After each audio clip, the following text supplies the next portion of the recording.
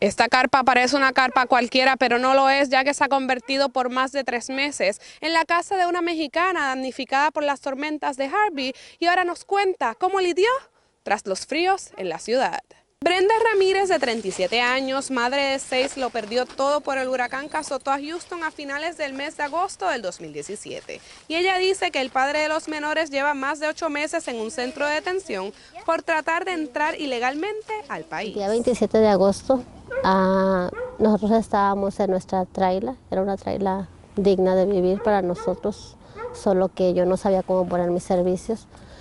Y ese día no esperábamos que el huracán nos llegara de la manera que nos, que nos invadió. Ya no pudimos salir, nuestros vecinos nos tuvieron que venir a sacar uno por uno y fue algo muy difícil que la verdad ni con miles de palabras uno explica lo que, lo que pasó ese día. A pesar de que ella no cuenta con un estatus legal, sus hijos son ciudadanos americanos, por lo que optó por pedir ayuda a la Agencia Federal para el Manejo de Emergencias. Esa fue la razón por la cual yo me atreví a hacer la aplicación de FIMA. Yo nunca pensé que yo podía aplicar. Hice la aplicación a nombre de uno de mis hijos con ayuda de otras personas. Mi jefa de trabajo me ayudó a llenar la aplicación con la esperanza de que a lo mejor algún suéter una prenda podíamos rescatar, ya que vimos como todas nuestras cosas se iban entre, entre el agua. Emma me pidió biles a mi nombre. El papel de la traila se fue entre el agua. No pudimos rescatar más que una carta notarizada y no me fue válida. Tratamos de saber más sobre la ayuda federal que le fue negada a Ramírez y la agencia a Mundo Hispánico que no pueden comentar sobre ningún caso en particular por reglamento. Estuve dos semanas en refugios de FIMA, dos semanas después del huracán.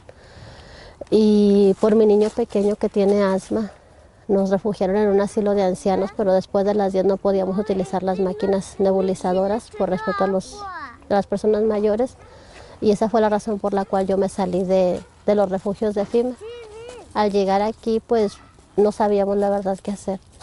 Solo llegamos, nos mirábamos entre nosotros cuando pasó una camioneta de un policía y tuvimos miedo, nos escondimos, pero pues fue nuestro ángel que nos regaló nuestra carpa, nos trajo colchones inflables, nos trajo comida comida porque salimos sin nada completamente del refugio, más que con lo que traíamos puesto porque ahí nos daban ropa diaria. Esa carpa ha sido nuestro hogar en donde hemos reído, hemos llorado, nos hemos preguntado qué pasa, qué va a ser de nosotros, con miedo a que llegue CPS, con miedo a que, a que cualquier gente nos reporte porque pues en realidad nuestras únicas personas que conocemos son los vecinos. Una de las dos niñas de Ramírez, de 7 años, que aunque no entiende mucho sobre lo que pasa, dice que su mamá solo le explica que viven ahí porque no tienen ningún otro lugar.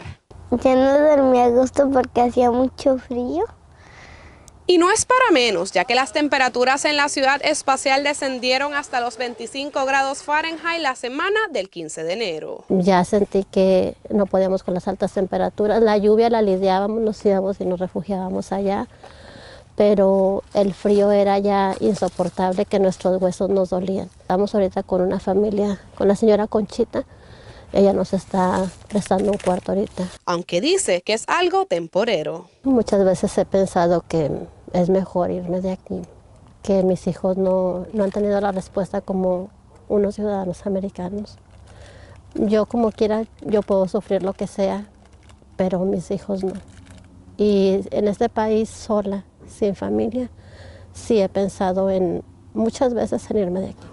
Y ahora esta mujer con la ayuda de la comunidad está tratando de reconstruir su casa para tener un techo para ella y para los suyos. Reportando desde Houston para Mundo Hispánico, Silvio Ben.